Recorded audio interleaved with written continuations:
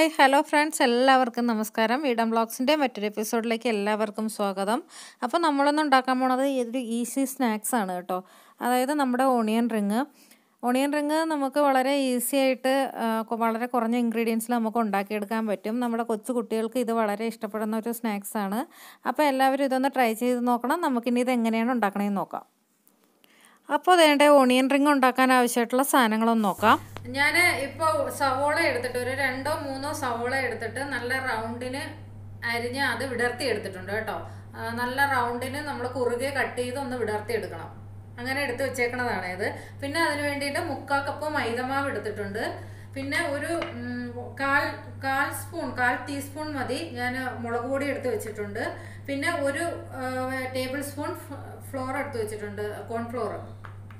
പിന്നെ ഒരു മുട്ട പിന്നെ ബ്രെഡ് ക്രംസ് എടുത്ത് വെച്ചിട്ടുണ്ട്. സോഡാപ്പൊടി കായം ഉപ്പ് ഓയിൽ വെള്ളം. ഇത് ഇത്രയാണ് ഇതിന് വേണ്ടത് കേട്ടോ. അപ്പോൾ ഇനിയിപ്പോൾ നമുക്ക് ഇത് ഉണ്ടാക്കണം എങ്ങനെയാണെന്ന് നോക്കാം. ഇനി നമുക്ക് ഇതിന്റെ ബാറ്റർ ഒന്ന് തയ്യാറാക്കാം. അതിന് വേണ്ടിയിട്ട് നമ്മൾ എടുത്ത് വെച്ചിരിക്കുന്ന മൈദ ഇട്ട് കൊടുത്തു. അതിനുശേഷം ബ്രെഡ് ക്രംസ് രണ്ട് സ്പൂൺ ഇട്ട് കൊടുത്തു. മുളക് പൊടി ഇട്ട് കൊടുത്തു.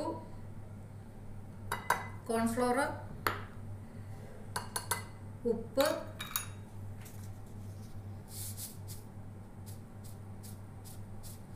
സോഡാപ്പൊടി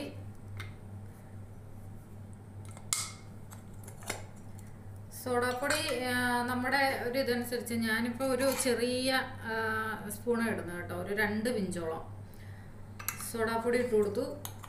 പിന്നെ ഒരല്പം കായവും കൂടി ചേർത്ത് കൊടുത്തു.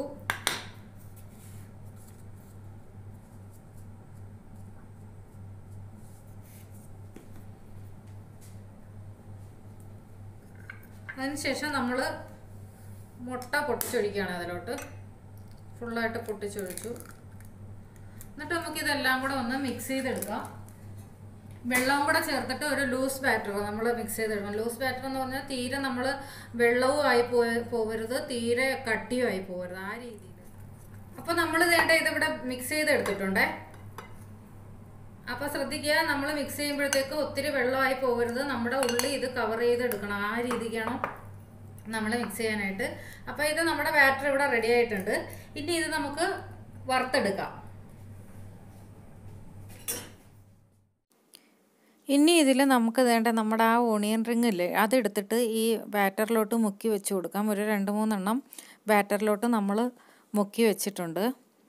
അപ്പോൾ ആ സമയം തന്നെ നമ്മൾ ഓയിൽ ഒഴിച്ച് കൊടുക്കുന്നുണ്ട് ചട്ടിയിലേക്ക്.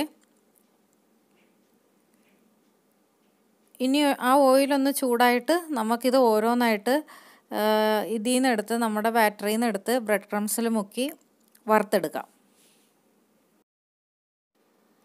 ഇപ്പോൾ അതേണ്ട നമ്മുടെ എണ്ണ ഇവിടെ ചൂടായി വന്നിട്ടുണ്ട്.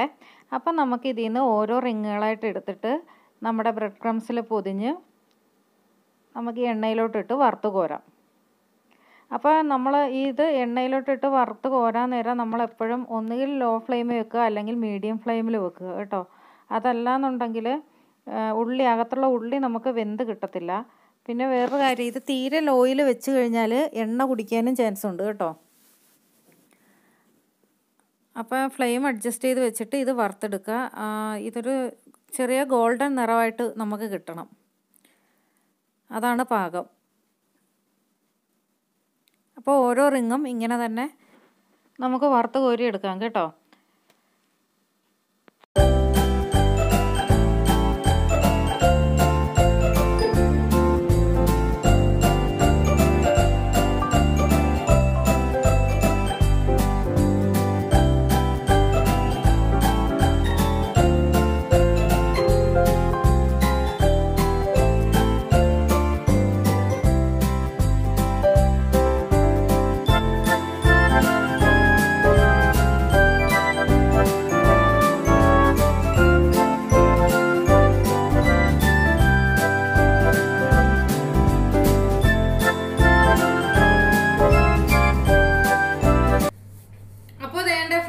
നമ്മുടെ ക്രിസ്പി ഒണിയൻ റിംഗ് റെഡി ആയിട്ടുണ്ട്. അപ്പോൾ എല്ലാവരും ഇതൊന്ന് ട്രൈ ചെയ്ത് നോക്കുക. ഇത് വളരെ ഈസിയാണ് ഭയങ്കര ടേസ്റ്റിയാണ് പിന്നെ നമ്മുടെ കുഞ്ഞു മക്കൾക്ക് കൊടുക്കുവാണെങ്കിൽ അല്പം പഞ്ചസാരയും കൂടെ ചേർത്താൽ നല്ലതായിരിക്കും. എല്ലാവരും ഇതൊന്ന് ട്രൈ ചെയ്ത് നോക്കണം കേട്ടോ. അപ്പം അടുത്ത എപ്പിസോഡിൽ മറ്റൊരു ഫോമായിട്ട് നമുക്ക് വീണ്ടും കാണാം. Thank bye bye